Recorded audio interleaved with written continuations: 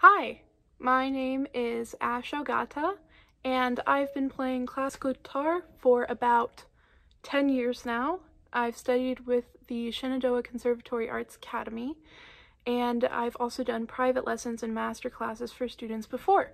So today I'm here to start the introductory series to classical guitar. This course focuses around the classical style of playing. So this course is not for people who want to learn acoustic guitar, electric guitar, jazz guitar, because those are going to be played on different guitars and with a different style, different techniques. So this is strictly for people who want to learn classical guitar.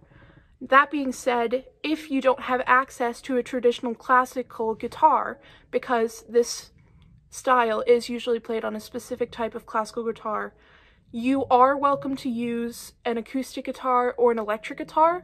However, the spacing of your fingers and uh, the actual strings themselves and the sound will all be different. But however, if that's all you have access to, feel free to try and learn this style on one of those guitars. But this is just a warning that you will want to get a classical guitar if you do pursue classical guitar in the future. I also want to talk about recommended listening for beginning classical guitar players because, let's be real, classical guitar is not an extremely popularized instrument.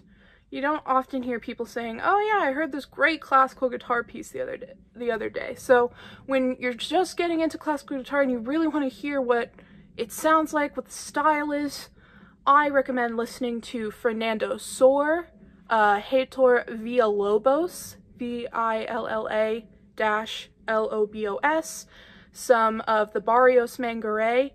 Honestly, if you type in classical guitar music into YouTube or Spotify, you should be able to find some of that genre.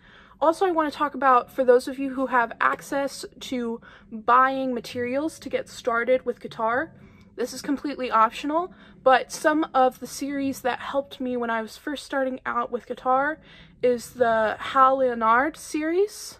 Those books are great for beginners, and when you're looking for beginner pieces, something that's really great is the Royal Conservatory Music Development Program series. The books look like this. They have level books. I started out with levels one and two, obviously, and that's what I definitely recommend. But these are full of pieces that are designed for the specific skill level.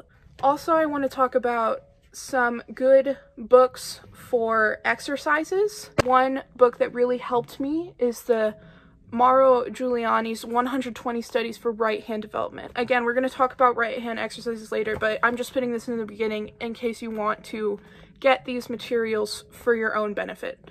Also, something that really helped me was sight reading for the classical guitar. It looks like this. It's by Robert Benedict.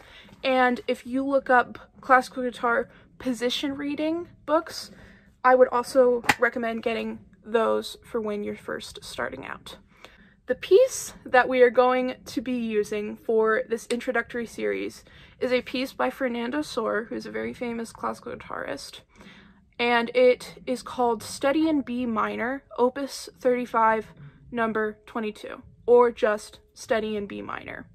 I will have sheet music here, and I will also try and put sheet music in the description of the video, a link to it, in case you cannot access the sheet music. But if you look up online, Fernando Sor, Study in B minor, Opus 35, number 22, you should be able to access a version of this online.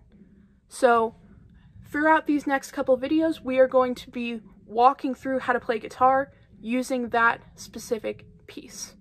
So I will see you in those next videos.